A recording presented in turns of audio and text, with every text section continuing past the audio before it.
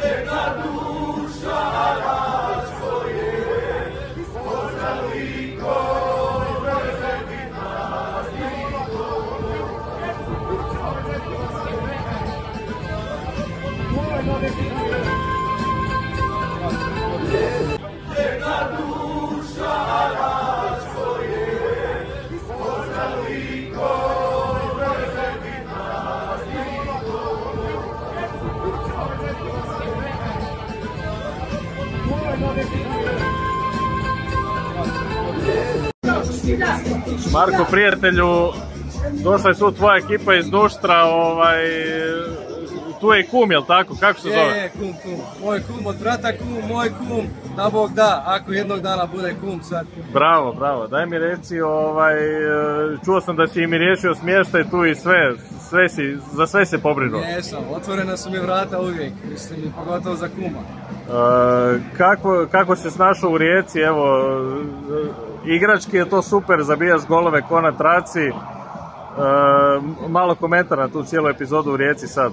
Pa mislim, iz početka je najbitnije da se osjećam ovdje kod kuće, da mi je dobro, prihvatili su me ovdje super, da li je to u gradu, to se vidi, ljudi su me super prihvatili, u klubu isto, mogu dati maksimum od sebe, to je najbitnije i tako onda na terenu mogu pokazati da se osjećam dobro. Vidim, dobro se snalaziš tu na korzu, sve znaš. Je, je, ako malo skromno hodam da me ne prepoznaje, ali toga će uvijek biti. A ima tog već sad, već te navijači prepoznaju. Bravo.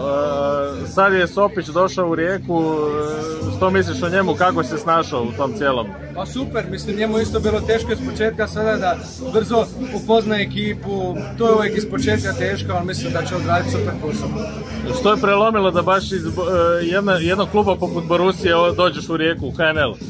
Pa osjećaj moj je bio da, da napustim Njemačku nakon toliko godina jer bi bilo uvijek i te ozljede, malo bi bilo teže, ali sad sam ovdje recimo našao svoju sredinu, našao svoju šansu i mislim da bi bila najbolja odluka što sam mogu donijeti. E, moram te pitat, e, bio si u mladoj reprezentaciji kod Bišćana, igrao si, sad si već i stariji, Jel bilo u tebi onog malo trunke nadanja da ćeš možda biti pozvan u A reprezentaciju, barem pred poziv nešto tog tipa?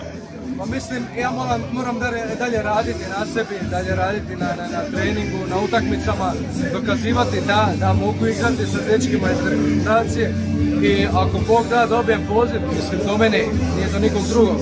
Ja moram dati sve od sebe, moram na terenu zabijati golove, asistencije i ako Bog da, kako sam rekao, onda ovaj, da dobijem taj poziv. Super.